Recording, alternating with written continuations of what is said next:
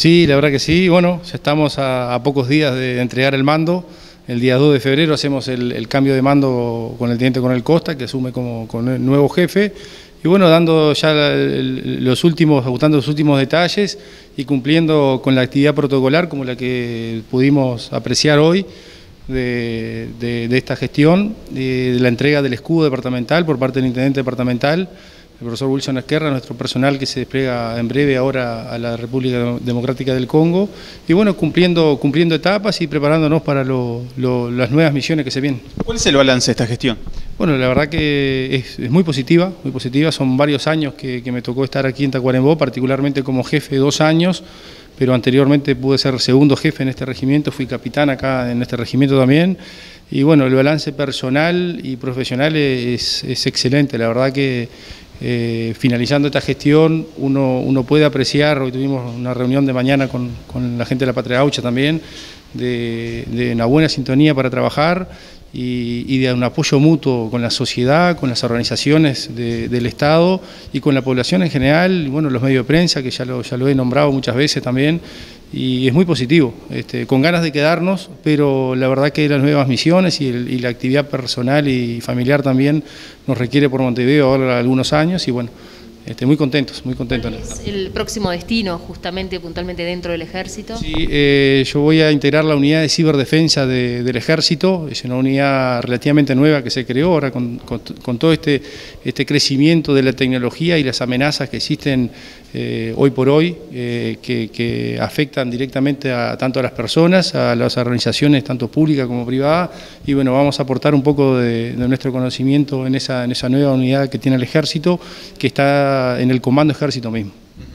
Explíquenos más detalles, porque está interesante. ¿Ciberdefensa es similar, por ejemplo, al Guardián a la policía o es totalmente diferente? No, no, no. Eh, el, Guardián es, es, un equipamiento distinto. Esto, la actividad de ciberdefensa es una actividad muy amplia que empieza desde la concientización, concientización del eslabón más simple y sencillo de la cadena, que es el recurso humano. Nosotros, soldados, cualquier integrante del ejército, podemos eh, sufrir ataques desde el ámbito personal, privado nuestro, desde ingresar una contraseña en la computadora y saber qué mecanismo utilizar, hasta eh, el robo de información a través de, virus, de ransomware y un montón de, otras eh, técnicas y, amenazas cibernéticas que existen. Entonces, el ejército no, no, no, escapa de eso, el regimiento, nuestro regimiento hoy está trabajando en ciberdefensa, en ciberseguridad básicamente, entonces eh, es una necesidad. Hoy tenemos los sistemas, todo funciona por sistemas. El ingreso de nuestro personal al ejército son sistemas, sistema contable, financiero también es un sistema, entonces todo pasa por la internet. Entonces eh, esa gran herramienta que vino a, revolucionar el mundo en, este, eh, en, esta, en esta generación, trajo, trajo también amenazas y bueno, el ejército no escapa a, esa, a ese tipo de amenaza y bueno, vamos a aportar de nuestro conocimiento también ahí para para, poder que, minimizar todo lo que se pueda las amenazas que, puedan afectar a nuestra institución.